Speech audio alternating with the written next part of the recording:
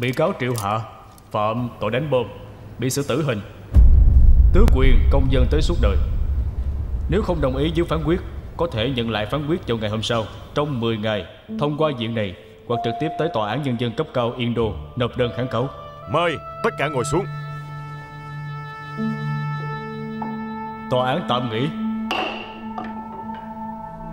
Đưa bị cáo Triệu Hạ xuống.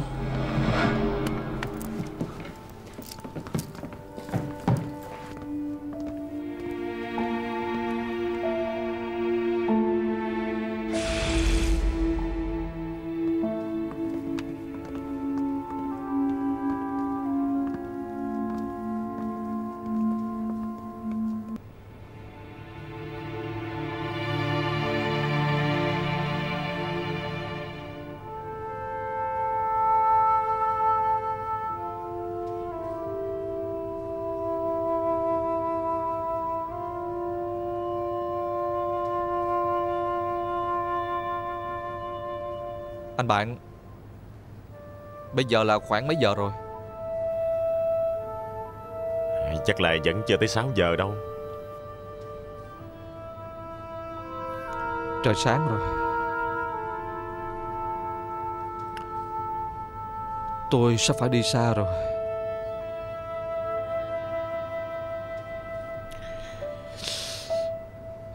Nghĩ tới chuyện sắp phải rời xa thế giới này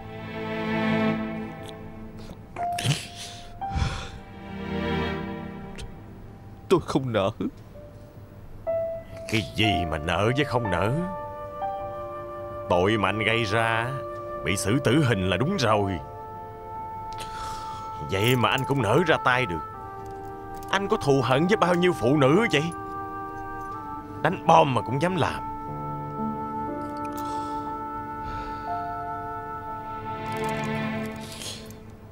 Tôi tưởng là mình sẽ trốn thoát an toàn Vậy mà lại bị bắt. Tôi nghĩ là anh ta sẽ cứu tôi ra. Vậy mà bị xử tội Và bị tử hình. Người mà anh nhắc tới là ai vậy? Anh bạn à Bộ anh gánh tội cho người khác hay sao? Tôi muốn nhắc nhở anh một câu. Đừng có tưởng chuyện này Ra đi là xong. Quan trọng là yên lòng ra đi hay không? Anh tưởng anh ta sẽ lo cho gia đình của anh thiệt hả? Anh chết đi Là xong mọi chuyện. Có trời mới biết những chuyện tiếp theo.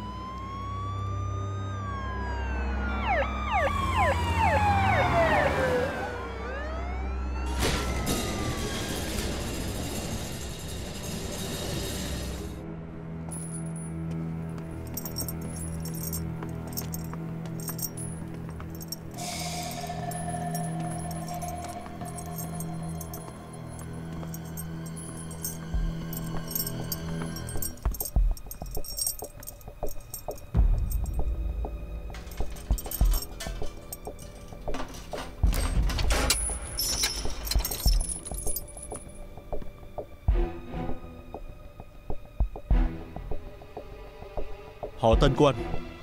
Triệu Hạ. Tuổi tác? 29 tuổi. Quê quán?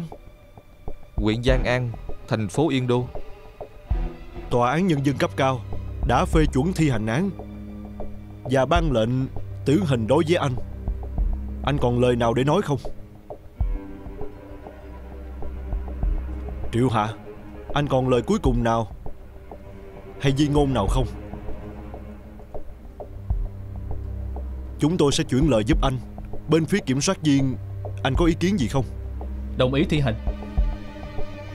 Đưa đến phòng hành quyết.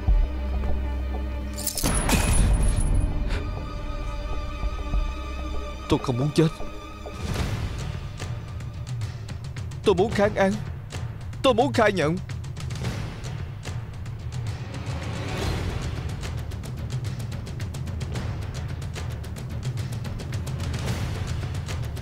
Triệu Hạ Anh còn muốn kháng án hay là khai nhận chuyện gì hay sao? Anh họ tôi kêu tôi đánh bom cô nhân tình đó. Anh họ tôi tên là Lưu Hải Dịnh Chính là phó bí thư thành phố.